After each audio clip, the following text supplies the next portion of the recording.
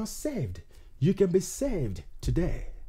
It is all about repentance from your sins and faith in the completed work of Jesus Christ.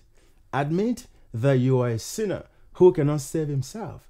Believe that Jesus died for your sins and rose again for your justification. Transfer all your trust from yourself to Jesus Christ. He can take care of you.